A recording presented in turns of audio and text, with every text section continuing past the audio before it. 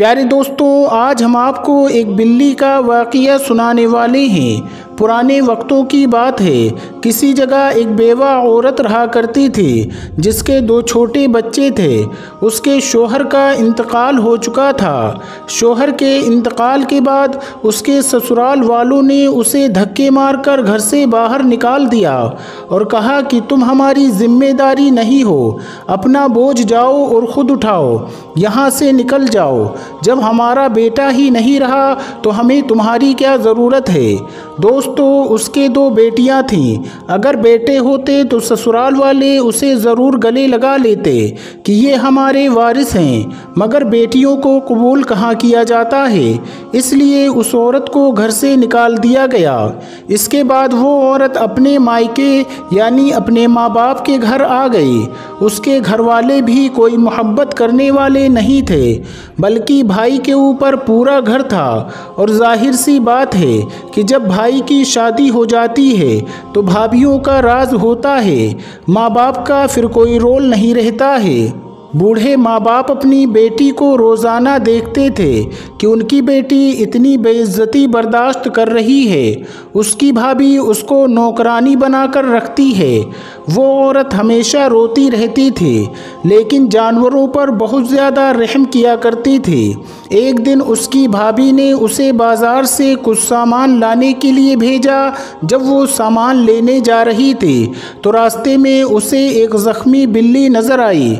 उसकी एक टांग टूट चुकी थी। उसने बिल्ली को उठा लिया और वापसी में उसे अपने घर ले आई। अपने बच्चों से कहा, देखो बेटा, ये बिल्ली मुझे रास्ते में मिली है। ये बहुत ज़ख्मी है, दर्द में है। चलो हम इसका ख्याल करते हैं। इसकी मरहम पट्टी करेंगे। माँ और बेटियों ने मिलकर बिल्ली का बहुत ख्याल रखा। उसको खाना पानी दिया। उसके ज़ख्म को सही करते रहे। यहाँ तक कि दो महीने के बाद उसकी टांग बिल्कुल अच्छी हो गई। लेकिन उस बिल्ली का उस घर में रहना इतना आसान नहीं था। रोज़ाना भाभी ताने देती थी और रोज़ भाई आकर डांटता था कि तुम्हारी वजह से पूरे घर का माहौल ख़राब हो रहा है। तुम तो हमारे सर पर पहले ही सवार थी। अब इस ज़ख्मी बिल्ली को भी लाकर हमारे सर पर बिठा दिया है। ये हमारे हिस्से का खा जाती है, दूध भी पी जाती है। तुम कब तक हमारे लिए यूँ मुसीबत बनी रहोगी? इसके बाद दिन गुजरते गए। एक दिन उसके भाई का बच्चा छत से नीचे गिर पड़ा। पूरी बस्ती में शोर हो गया। भाभी को मौका मिल गया। उसने फ़ौरन अपने शोहर से कहा, तुम्हारी बहन की वजह से ये सब कुछ हुआ है। ये जो बिल्ली लेकर आई है, उस बिल्ली के चक्कर में मेरा बच्चा छत पर चढ़ गया था और वहाँ से नीचे गिर गया। इसके बाद उसकी भाभी कहने लगी इन सबको यहाँ से बाहर निकाल दो वरना एक दिन बहुत बुरा हो जाएगा। अब उस बेवा औरत पर आफत आ चुकी थी। भाई ने कहा, देखो बहन, तुम्हारी वजह से हम बहुत अजाब में मुबतला हैं। मेरे बीवी बच्चे बहुत परेशान हो चुके हैं। मैं बूढ़े माँ बाप को पालूँ या तुम्हें या तुम्हारे बच्चों का बोझ पालूँ? या फिर तुम्हारी बिल्ली को जो तुम यहाँ लेकर आई हो, इसके खाने पीने का इंतज़ाम करूँ? अब तो इसकी वजह से मेरे बच्चे के साथ ऐसा मामला भी हो गया है। कि वो मरते मरते बचा है, तुम यहाँ से चली जाओ, अपना इंतज़ाम कहीं और कर लो। मैं अब तुम्हारी ज़िम्मेदारी और नहीं उठा सकता हूँ, क्योंकि माँ बाप में वो ताकत नहीं थी कि वो अपने कमज़ोर बच्चों के लिए लड़ सकें, अपनी बेटियों के लिए वो किसी के सामने खड़े हो सकें। बेवा होना या तलाक शुदा होना कोई जुर्म नहीं है, ये कोई बीमारी नहीं है, जिसकी वजह से औरत को धुतकारा जाता है। क्यों घर वाले सपोर्ट नहीं करते? क्यों बेवा या तलाकशुदा को बोझ समझते हैं?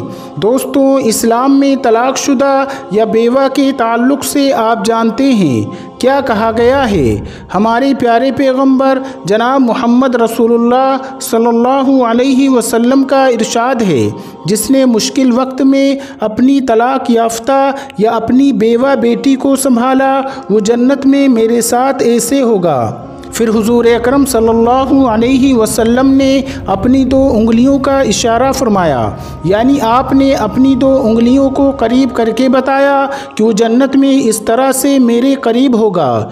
लेकिन दोस्तों, वो जाहिल लोग इस बात को नहीं समझते थे। वो वालदेन रोते पीटते रहे कि बेटी के साथ इतना बुरा सलूक हो रहा है, नौकरानी बनाकर उसको रखा हुआ है। लेकिन उन्होंने एक लफ्ज़ भी नहीं कहा। और यूँ बेटी अपने माँ बाप को खामोशी से देखती हुई वहाँ से चली गई। वो औरत जाकर मेहनत मजदूरी करने लगी। उसको कहीं एक छोटी सी झोपड़ी मिल गई। किसी ने एहसान करके उसको एक कमरा दे दिया। वो वहाँ अपने बच्चों के साथ रहने लगी और लोगों के घरों में जाकर कामकाज करके अपना घर चलाने लगी। दोस्तों, उसके शोहर ने मरने से पहले अपने एक करीबी दोस्त के साथ एक एहसान किया था। जब उसका दोस्त बहुत मुश्किल में था, सख्त परेशान था तो उसने उसको दस हज़ार दीनार बतौर कर्ज दिए थे और कहा था, ए मेरे दोस्त, तुम अपना ख्याल रखो और अपना काम इसके ज़रिए चला लो। जब उसे ये पता चला कि मेरे दोस्त का इंतकाल हो गया है तो उसने सोचा कि मेरे दोस्त ने मुझे मुश्किल के वक्त में दस हज़ार दीनार दिए थे। अब मेरा फ़र्ज़ बनता है कि मैं उसके दस हज़ार दीनार उसकी बेवा को वापस कर दूँ। ताकि वो इस मुश्किल और परेशानी से बाहर आ सके।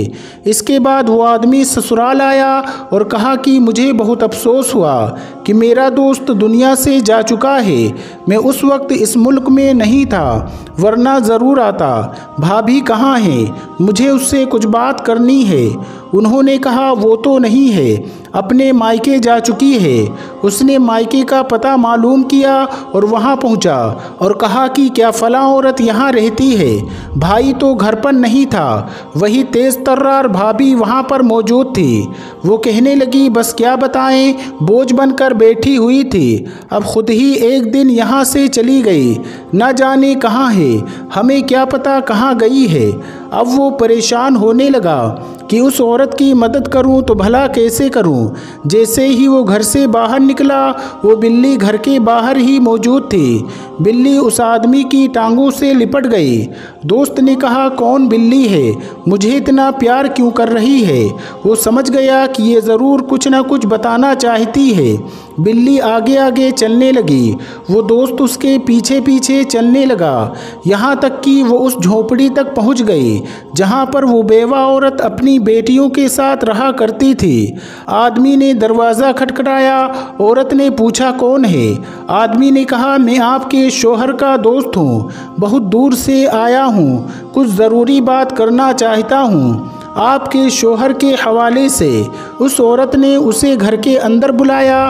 वो कहने लगा, बहन, आपके शोहर ने, यानी मेरे दोस्त ने, मेरे ऊपर एक बहुत बड़ा एहसान किया था। अब मैं अपने शहर का अमीर इंसान हूँ, लेकिन वो जो दस हज़ार दीनार आपके शोहर ने मुझे दिए थे, वो लौटाने के लिए आया हूँ। इसके अलावा भी मैं कुछ कहना चाहता हूँ। मैं जानता हूँ कि आपका कोई सहारा नहीं है। आपको सबने घर से निकाल दिया है। आपसे मैं कहता हूँ, आप मेरे घर चलें, मेरे बीवी बच्चे हैं, मेरे माँ बाप हैं, आपको इस दुनिया में यूँ ही तनहा नहीं छोड़ सकता हूँ।